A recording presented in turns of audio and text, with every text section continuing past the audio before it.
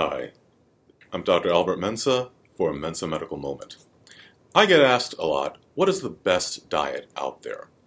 To that I have to respond, well, typically it really revolves around what your personal goals happen to be. But if it's just a general question, then I have to say something very interesting to you. Grandma was right.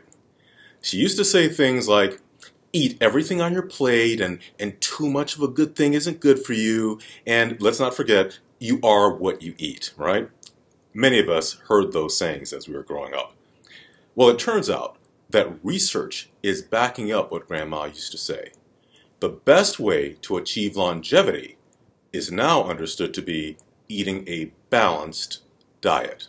When you eat a balanced diet, first of all, you're less likely to overdo ingesting elements that could make your biochemical imbalances even worse. Depending on one's makeup or one's goals for things like weight loss or control of cholesterol and other physical concerns, there are some benefits to a vegetarian or even a vegan lifestyle, or even low carb diets.